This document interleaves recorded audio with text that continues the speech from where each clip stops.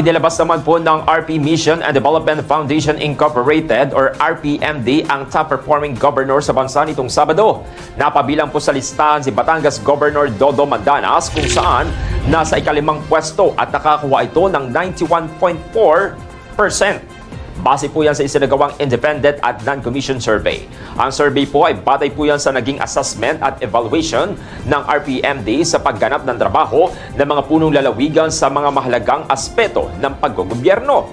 Nanguna naman sa listahan si Cebu Governor Gwen Garcia na may 94.5%. Sinundan naman po ni Dax Cuba ng Quirino na may 94.2%. Ikatlo naman si Ann Hopper ng Zamboanga Sibugay na may 92 92.3% at pang-apat naman ang bagong DILG Secretary na si John Vic Remulla ng Cavite na may 91.6%. Ilan sa pinagbatayan po ng naturang survey ang performance indicators na binubuo ng leadership and governance, economic development and infrastructure, social welfare and public services, public safety and security, environmental management and sustainability, at public satisfaction and engagement.